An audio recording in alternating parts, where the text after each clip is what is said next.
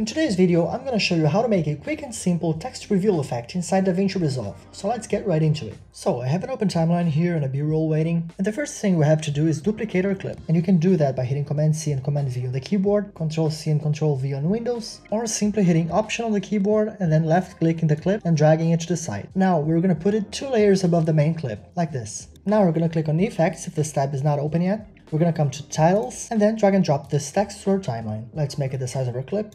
Alright, now we're gonna disable this clip in the third layer for a little while, and you can do that by hitting D on the keyboard or simply by clicking on this icon here, Disable Video Track. Alright, now we can see our title. So let's make a few changes on it. We're gonna change it to text.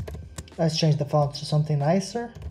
Let's make it a little bigger, roughly the size of the bus, like this. Now let's come to settings and position it a little better, like this. Let's also give it a bit of stroke, like this is fine. And now we can enable again our clip.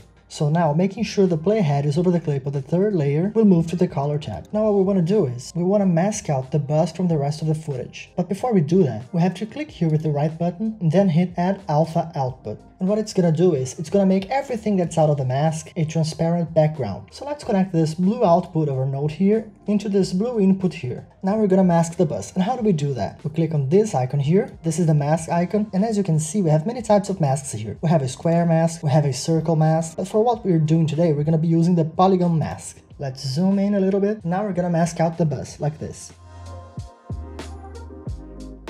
Now what we have to do is, we have to track the movement of the bus so the mask follows along. And we do that by clicking on this icon over here, the tracker icon, and then we just track forward, like this. So let's see how it goes. The effect happens, but it's not quite good yet. So what we have to do is improve the mask, like this. Now let's see how it goes. A lot better. And that's how you do a text reveal effect inside DaVinci Resolve. And if you like this video, make sure to subscribe to the channel and leave a comment down below letting me know what type of videos you want me to make. And if you want to learn how to make a pop-up subtitle, make sure to check out this video showing on your screen right now and I'll see you there.